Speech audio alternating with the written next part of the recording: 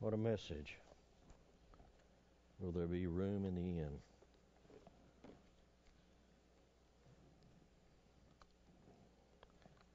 We don't just have him in our heart. Uh, seems like we're losing him in every direction in our world today. When it's getting bad when you can't read Scripture, but you're condemned for reading Scripture, or you're, you can't pray in school anymore. A lot of different things. We, we, we really need Jesus. We really need to see what He has done. I don't know how far we're going to have to go or where God's going to have to allow us to stumble before we recognize really who Jesus is. You know, uh, there's a lot of precious Christmas times that I'm sure each one of us had, have had.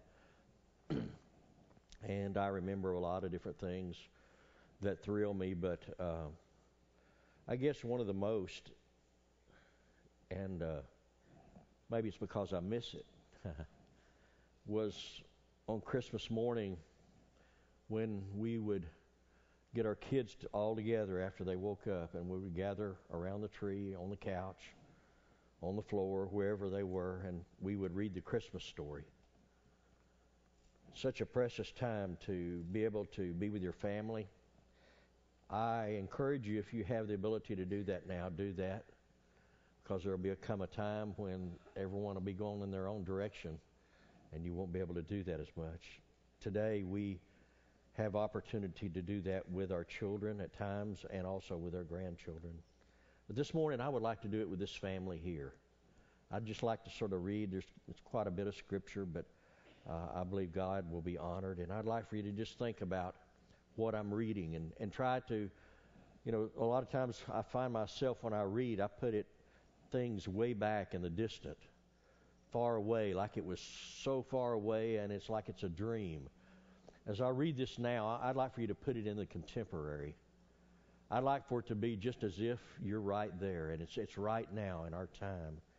And just think about yourself and think about the people that are involved in this story and think about what they felt and what they went through and, really what they sensed. And maybe we can just get a taste of it. Matthew, the first chapter verse 18. It says, Now the birth of Jesus Christ was in, on the wise, when as his mother Mary was espoused to Joseph, before they came together, she was found with child of the Holy Ghost. Then Joseph, her husband, being a just man and not willing to make her a public example, was minded to put her away privately. But while he thought on these things, behold, an angel of the Lord appeared unto him in a dream, saying, Joseph, thou son of David, fear not to take unto thee Mary thy wife, for that which is conceived in her is of the Holy Ghost. And she shall bring forth a son, and thou shalt call his name Jesus.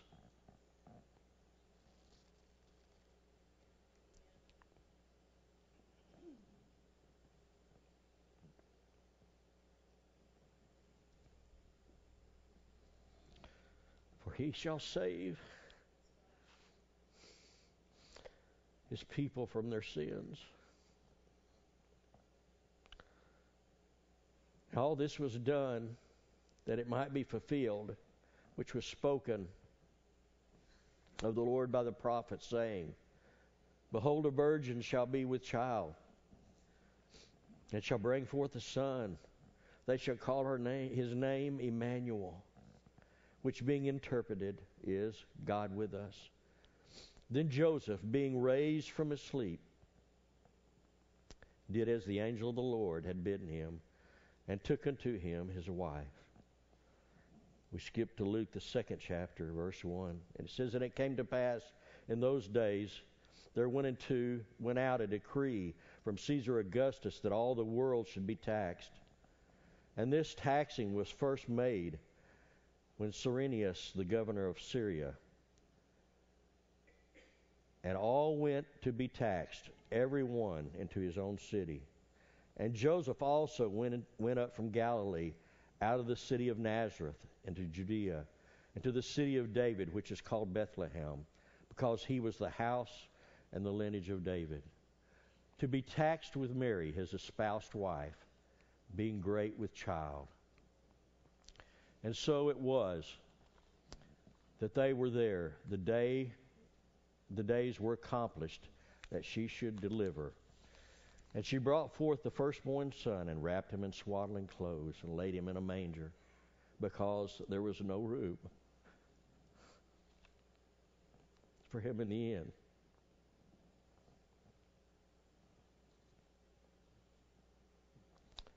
And there were in the same country shepherds abiding in the fields, keeping watch over the flock by night.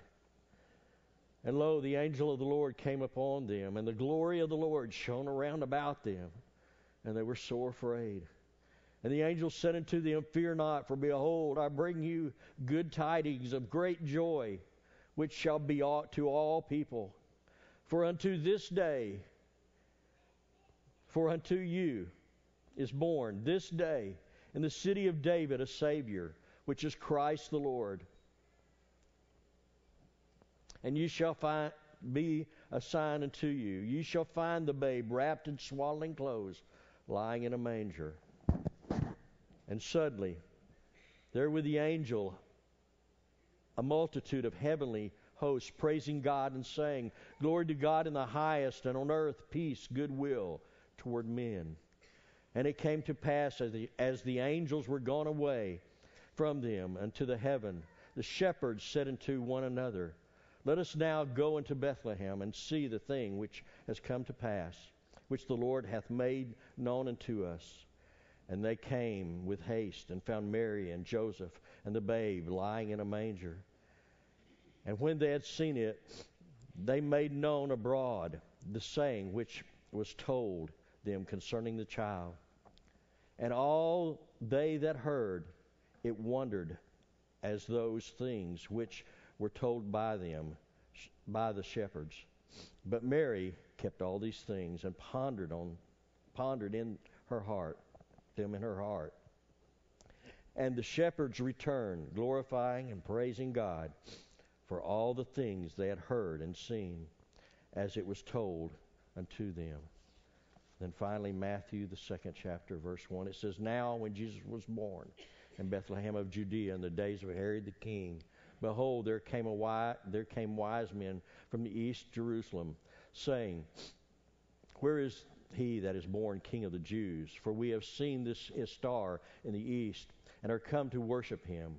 When Herod the king had heard these things, he was troubled, and all Jerusalem with him. And when he had gathered all the chief priests and the scribes and the people together, he demanded of them where Christ should be born. And they said unto him in Bethlehem of Judea, For thus it is written by the prophet,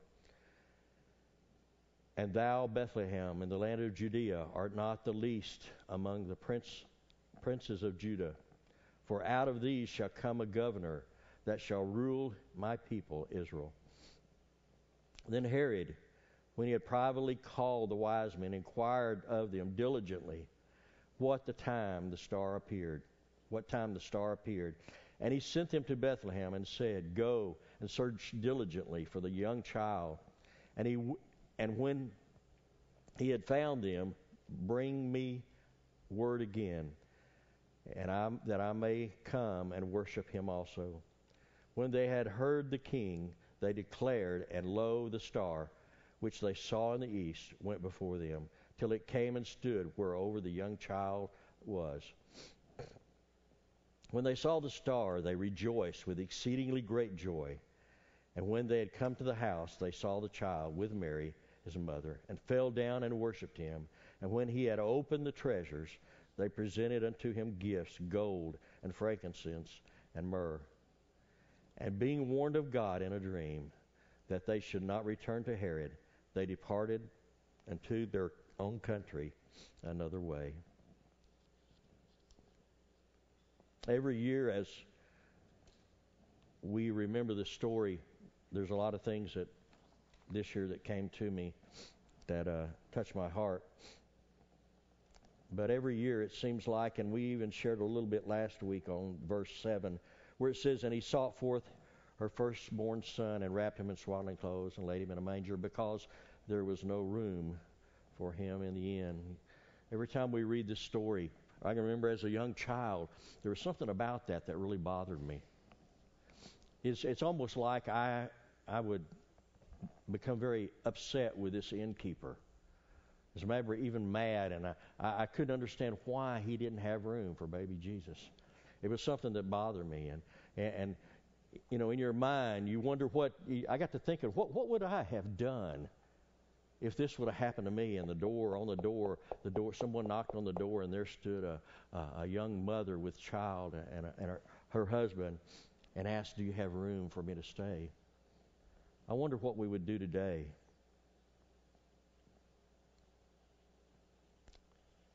You know, I don't know if you thought about it, but when Christ came into this world, it wasn't just the innkeeper that didn't have room. It wasn't just the innkeeper that was asked to make room. Today, he's still asking us, Do you have room in your heart for me? Each one of us, he's asking us that. He's already done that through songs. I believe he's already done that in his spirit to our hearts. Do you have room for me? So songs that talked about pushing aside. Songs about not putting him first in our heart and our life. You know, and Luke, the here Mary, uh, you see, Mary, his mother, she had to make room. I don't know if you've ever put yourself in her place. Ladies, maybe some of you have. Uh, it says, But Mary kept all these things and pondered in her heart. You know, Mary probably wasn't just pondering about Jesus. I believe she was pondering also what is her part that she is going to play in the life of Jesus, this Savior that lives within her. What, what, what's going to be her part of in this drama that's going to take place? I wonder if she realized that, you know, she needed to make room in her heart too. First of all, uh, I remember this week, I'm a, I'm a new grandpa. Uh, Micah's fifth, yes, whose name is Micah Cole Smith. Uh, and I was reviewing in my mind when he, Micah, came, was born. And uh, I thought about as of course, I wasn't able to be back there with Suzanne during his birth. Back then, they didn't do that. But I can remember looking through the glass window as I looked in, and he's lying in the bed there, all curled up and stuff. And I thought, I love him. And I thought, do I? I don't even know him. I, I mean, I, I, say I love him, and, and, I do love him, but do I? Do I really love him? And uh, it's funny how that works because years later, Micah would come to me. And he had had already had Chloe had been born, his firstborn, and uh, it was time for Noah, his secondborn, to come forth. And he says, Dad, he says, I, I just don't know. I don't know if I can love another child as much as I love Chloe. You know, I, I just don't know if I have that love if I can. I don't know if I have room in my heart for someone else. Well, he better have had room because this is his fifth, you know. but he has, he has, he has found room in his heart. I wonder what it was like for her to find room there in her heart for him. She had to. She had to. You know, she had to find room not just in her heart, but, but in her body too a place in her body. She carried that child for nine months. They say that a mother, there's something that takes place between a mother and a child, I would know. Between a mother and a child, as she carries that child, it's almost like, in a sense, they become one. And I'll never forget when I believe it was Matthew was born.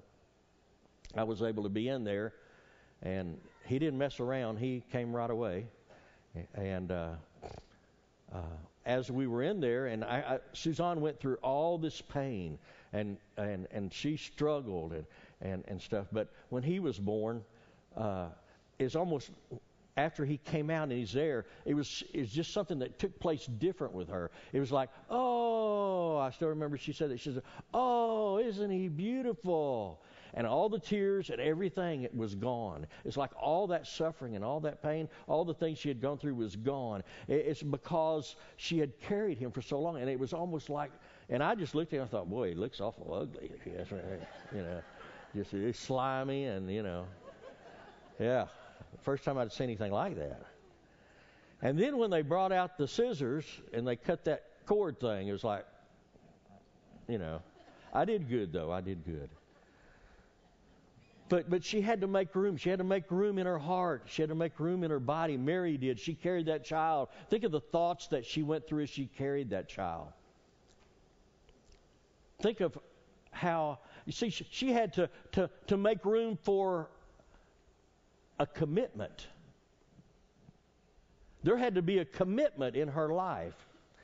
It, it wasn't something that she could say, I don't want to do this. I, I, I quit. I've had enough. Let's not let's just stop right here. Right here. She couldn't do that. You know, this is where you really tell if someone's heart is really in it. As if they quit and say, That's it. And I'm not just talking about a child, but I, am talking about even with God. That's where you can tell if someone really loves God as much as they say they love God, because when it gets hard and the pain comes along, and, and the suffering comes along, and it don't turn out quite like you thought. You know, I think a lot of times when you get married and you're going to have a child, it's just like whoopee, just oh yeah, we can't wait to get the child, and then you know, you go through all this, and then later on, after they get here, you go through it and say, well, I don't know, I didn't realize this was part of it, you know. But when you, and there's a lot, a lot of parents that, mothers and fathers that walk, have walked away from their children, that walk away from them. That's when you really tell where the love is. There's some that walk away and they live in their own house. Their hearts walked away. They don't care just do your own thing. She had to make a, a, a commitment. Do you think that maybe there was battles in this commitment she made, battles that maybe made her wonder and doubt what all this was about, maybe even doubt herself, maybe even doubt Jesus? The mind battles she had, the struggles she had? If you let Jesus in your heart, you're going to have some of these doubts. You're going to have some of these struggles. You're going to have some of these battles. It's not going to be all sweetie, sweetie things, all giggles and funs. There's a lot of dirty stuff that comes along with walking with God. I think a lot of times people do not express that. It's like you find Jesus and everything's going to be great. No, you're going to get in a battle. There's going to be a battle. Oh, it's great. I tell you what, I wouldn't change my life. I wouldn't go another direction. I'm thankful that I got saved. I'm thankful I was raised in a Christian home. I'm thankful that one day I decided to, to follow God and be a minister and, and try to reach out and draw people in. Sure, it's not easy sometimes, I confess. Sometimes I'd like to say, oh, I don't know, maybe I don't need to be doing this anymore. But no, you see, there's, there's God's put something in my heart and I think people, when God gets in your heart, He puts in your heart, you, you, you make a commitment. And even though the doubts come, the, the love will override that. I wonder if she questioned even God. What about what about when he, I, I don't, we don't know what she knew when she said she pondered. We don't know what God really showed her, but I think probably down inside her, she knew that something was coming. I wonder when she stood underneath the cross and looked up at him on the cross hung up there that she she she didn't she she began to question God because it was his, her son on the cross when he was spit upon, when he was mocked, when the crown of thorns were put on his head, when the nails were driven in his side and driven in his feet. I wonder if she questioned God. I want to tell you something. When you give God room in your heart, there's going to be things that you're going to come up against you that you never rec- would recognize. You'd have to make room, realize that by making room in your heart meant rejection. Believe it or not, there's people in this world that are rejected because they accept Jesus in their heart. I wish I had time. I'd like to bring my wife up here and let her give her testimony of her salvation. How, when she got saved, she went home and told her mom about her how God, she let God into her heart and what had happened. And she ended up out on the streets of Houston, walking the streets of Houston, kicked out of the house. Roaming around, called the pastor. The pastor went and picked her up, and she stayed with him for a period of time until her dad came. How when she got saved, she was so stirred up about it, she wrote her grandmother that didn't know Jesus and tried to share what God had done in her heart through him and got a nasty letter back, a bad letter back. Don't you ever write me again. Don't ever talk to me about that stuff again. Hmm. When you let Jesus come into your heart, there's gonna, it's, it's going to mean rejection. There'll be friends that won't want to be around you because you're different, I trust. There's people that'll turn you off because you even use Jesus' name. Rejection. Rejection by friends. I wonder, you know, we don't read a lot, we don't read anything, I don't guess, about her mother and father. I wonder where her mother and father were in the picture. I wonder where they were. Did they reject her? You see, if you make room for Jesus in your heart, you're going to have to be committed and be willing to suffer rejection and be willing to be despised and rejected by people. We don't know what lies ahead for people that are Christians in our world today because of the way it's going. You better really have it in your heart you better really get Scripture in your heart and not just read them and know them in your head, but be able to know that you're living them in your heart because some of the things that you might be have to face ahead, you're going to have to know that God's on your side and the devil's going to come at you with all kinds of things. It's going to put doubts in your mind and going to try to point this way and point that way. And you're going to have to have that relationship with God because that's going to be the only foundation you're going to be able to hold on to. You've got to let him in your heart. The shepherds had to make room.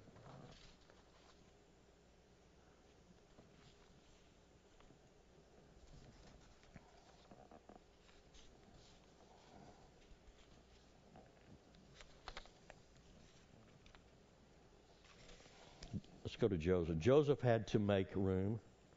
Joseph, his earthly father, he had to make room for change. You see, Joseph's life changed totally. Totally. When Jesus came in his heart, your life would change.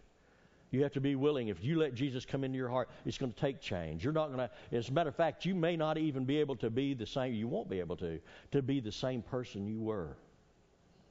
It's going to take change. It's going to demand change. It's going to expect change. He had to be willing to believe the impossible. Think about it. Joseph did. He had to, he had to be at a place that he, it said Joseph was a just man, which that word just means righteous man. So his relationship was, with God was very good. And that's why he was able to accept the impossible, accept things when it didn't seem like there's any way that that could be the way it is. Think of what went in his mind. Mary, a, a virgin? With a child? God's Son? Jesus? Emmanuel, we sang about? God with us, God there? He had to make room, Joseph did. To make room like Joseph did, you're going to have to have this great leap of faith. In verse 24, it says, Then Joseph, being raised from sleep, did as the angel of the Lord had bidden him, and took her unto him and took unto him his wife.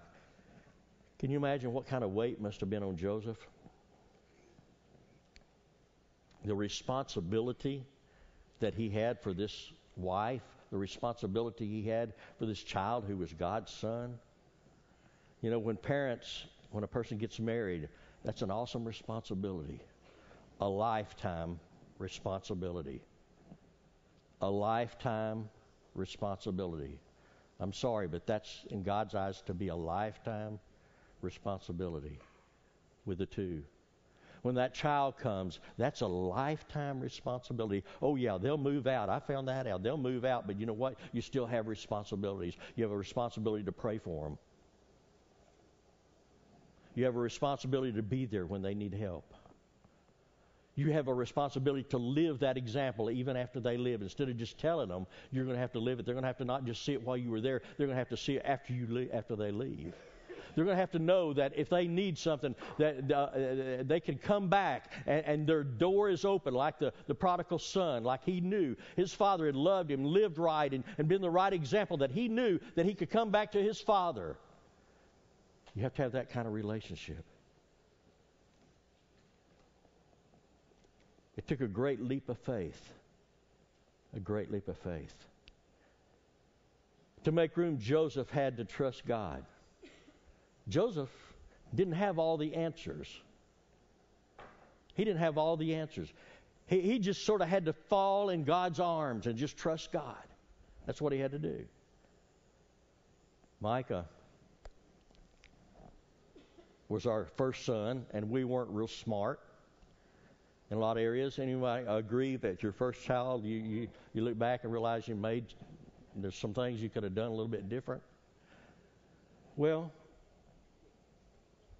I worked in a grocery store, and there was a guy that was a manager that hired, owner really, that hired me. His name was Jimmy Carter. Like I've said before, not the president, but when he Micah was born, Suzanne and Micah would come to the store. It was just a little country store it probably wasn't a whole lot bigger than this building right here, the little country store named, named uh, CNC Food Center. And me and Jimmy Carter, of course, Jimmy Carter was crazy anyway, and so he was sort of agging it on anyway. But I would take Micah, and Micah would just just trust me. He did. I was his dad, and he'd trust me. I could hold him when he was young. He couldn't even walk. I could hold his legs right here in front like that, and he'd just fall backwards. He'd know I'd hold on to him. I could throw him up in the air and he would just cackle. I mean, just just just cackle. Well, me and Jimmy Carter, we decided what we would do is we'd throw him through the air because when I threw him up in the air, he would laugh. He'd just, like I say, cackle. So we're we're we're standing in the grocery aisle, and I'm taking Micah and I'm slinging him like this to Jimmy, and Jimmy's catching him, and he's just laughing the whole way over the deal. And all of a sudden, he's going through the air like this, and we heard Pauline Robbins on the other side, this lady, she, anyway, she was on the other side. She said, Lord, you're going to kill that kid. Like that. Just, you know. But the reason Micah would let me do that is because he trusts me. He trusts me. He trusts me with his life. He wasn't fearful. And that's that's jo- uh, Joseph. He got to a place where where he realized he was just going to have to to trust. He just trust God his father. Just let go and just trust him and believe.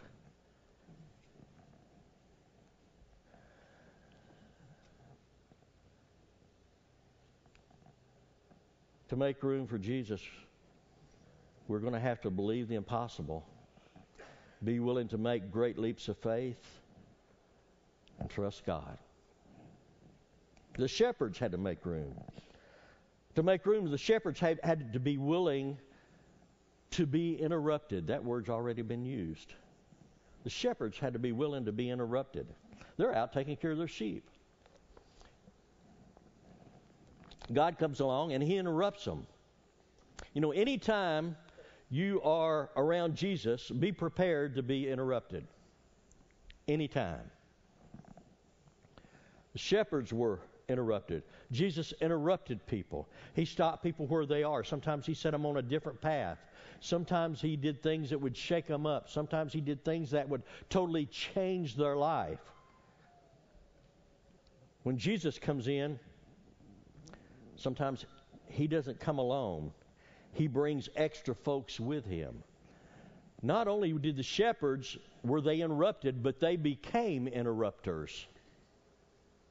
And what God will do is when we let Jesus into our heart, our life will start interrupting other people with the truth, interrupting their life, changing their life. The shepherds went and interrupted Mary and the child. Sometimes God will, when He comes into our heart, there's things He will interrupt us with. Sometimes He'll interrupt us with things that don't fit our, fit our fancy, things that aren't on our schedule, things that, that it's not the way you do it.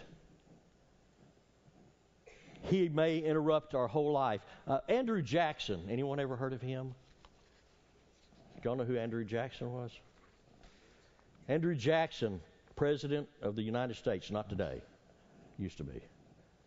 History reports that when, when Jackson was sworn into President of the U.S., all the folks he knew and all the old soldiers he fought with in New Orleans came to Washington and descended upon the White House.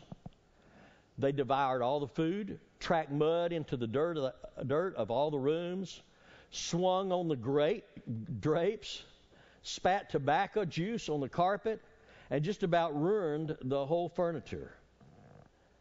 You know, if Jesus comes in to your heart, you're going to have to be willing to let not only Jesus interrupt you, and sometimes what he'll do is he'll interrupt you with people that are different. He'll interrupt you with, with, with even in this church. Uh, one of the prayers I had is God, I want this to be your church, and I want it to be a church the way you want it. I want the people here that you want here. And that's what God will do. If we'll allow Him, He will bring the people in and work through you to bring people in here. And sometimes it's not people that we would like to be big buddies with because there's so many differences about us. But God wants to make us one.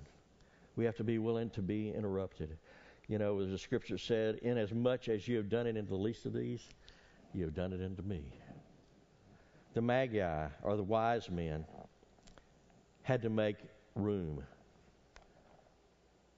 extraordinary demands. They had, to, they had, you know, they didn't just say one day, "Oh, yep, we're going to go follow that star," but but but they had to devote time. They had to devote energy. They had to devote brain power to learn about this star.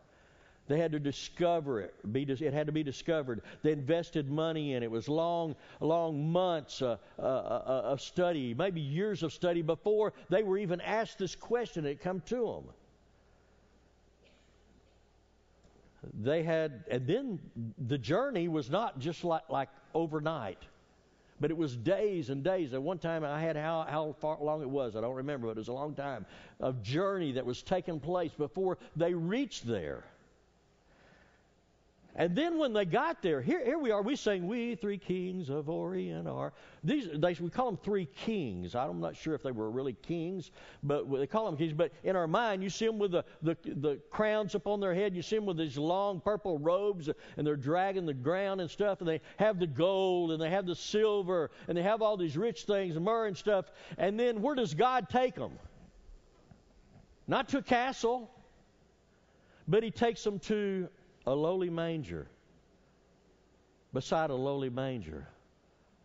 They're looking for something big, and he brings them to a manger. If you're going to make room in your heart for Jesus, you're going to have to allow him to humble you. To humble you. It was a humbling experience for, for those three kings, I believe, to bow down and maybe get stuff on their robe when they bowed and worshiped. When they come in to be in that, it was a humbling thing. I've also thought about the innkeeper. Why didn't he have, have room for Jesus? Maybe he had other priorities that were more important.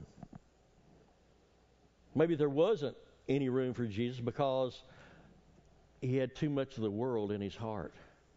Maybe there really was room, but he didn't have room for these these people that come riding in on a donkey. This uh, they just don't look like that they would fit. Maybe he didn't have time to mess with them. There was a lot of people there. There was a lot of things going on. Maybe he had his own problems. He didn't have time. Now, can you parallel those with our daily life? Maybe he was afraid uh, at the end it was going to cost him something because they didn't look like they were people that had a whole lot of money. And it was going to cost him. If you let Jesus come in, it will cost you. It'll cost you everything. You have to be willing to give him everything. But you know what? You get back eternity and everything that's in it.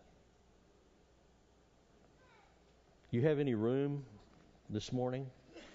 You have room for him? Wally was a nine year old in second grade. though he should have been in the fourth. He was big and clumsy, slow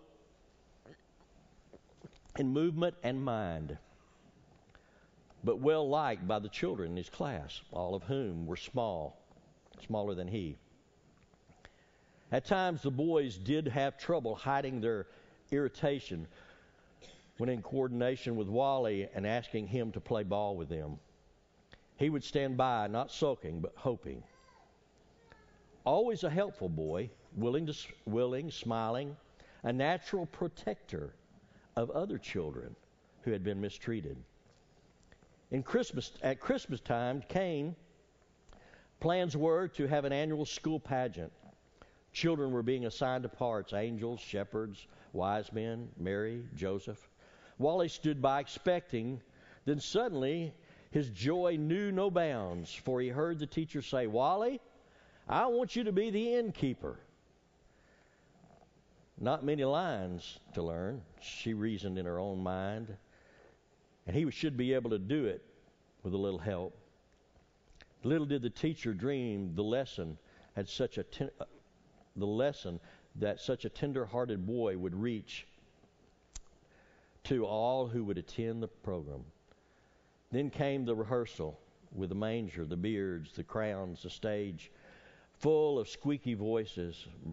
Most caught up in the magic of the night was Wally. He would stand in the wings watching the performance with fascination. His teacher had to make sure he, he didn't wander off before his cue. Then came the long waited Wally, long waited night, and Wally stood beho- holding a, a lantern in his hand at the doorway, watching children portray Mary and Joseph who came near him. What do you want? Wally said to Joseph and Mary with a short, abrupt gesture. We seek lodging. Seek it elsewhere, the innkeeper field. Yes, sir, we have asked everywhere in vain. We have traveled far and, and, and we're very weary. There's no room in this inn for you, Wally said promptly and sternly. Please, good innkeeper, this is my wife. She is heavy with child and, and needs a place to rest. Surely you must have some small corner. She's so tired. Now, for the first time, the innkeeper relaxed his stiff stance and looked down at Mary. With that, there was a long pause, and the audience became a bit nervous. No, be gone, the prompter whispered from the wings of the stage to Wally. Wally spoke up, No, be gone, shocking himself. Joseph sadly placed his arm around Mary, and Mary laid her head upon Joseph's shoulder, and the two started to walk away.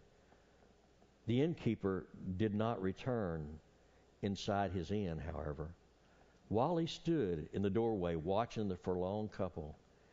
His mouth was open, his brow ceased with concern creased with concern. His eyes filled unmistakably with tears. And suddenly, this Christmas, Christmas pageant became different from all the others. Don't go, Joseph, Wally cried out loud. Bring Mary back. And Wally's face grew into a bright smile. You can have my room. This morning, are you willing to G- give Jesus the room that you have? in your heart? Revelations 3 2, 320 says, Listen, I, I am standing and knocking at your door. If you hear my voice and open the door, I will come in and we'll eat. We will eat together. In Houston, where me and Suzanne were married, the First Church of God there, where the college was, as we walked down the aisle, we could see a stained glass window, and it's Jesus knocking on the door. The reason he's knocking on the door is because there's no handle on the outside. Because the person on the inside, when he knocks, is the one that has to let him in. And that's the way he is. And that's the way he is this morning. You know, many times maybe you've come in here and you've walked in here, maybe this is your first time, but God has knocked on your door, the door of your heart. And maybe other times before you haven't opened that door, but maybe this morning God's spoken to your heart in some way and you would like to open that door and let Him come in. Someone's knocking on your door. You know, if you don't, like the innkeeper, you might miss one of the greatest things that could ever happen to one life. Think of what that innkeeper missed. Think of what he missed. Think about what you could miss this morning. Is a room?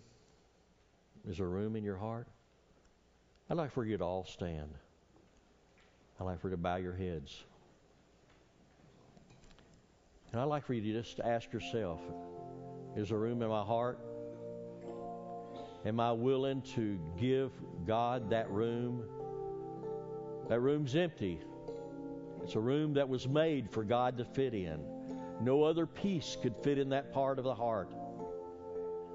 No other no, no other piece like a piece to the puzzle would ever go in and fit right. Would ever feel right. Would ever fill the cavity. And Lord, we believe you're knocking on people's hearts this morning. And we ask that they would move to the altar this morning as you as you speak to them, Jesus. In thy name we pray. Amen.